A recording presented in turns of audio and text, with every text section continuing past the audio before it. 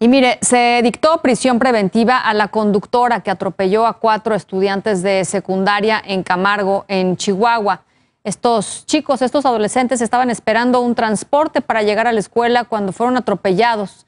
Ahí en el lugar murió un chico de solamente 14 años y resultaron lesionados tres de sus compañeros de 11 y 12 años.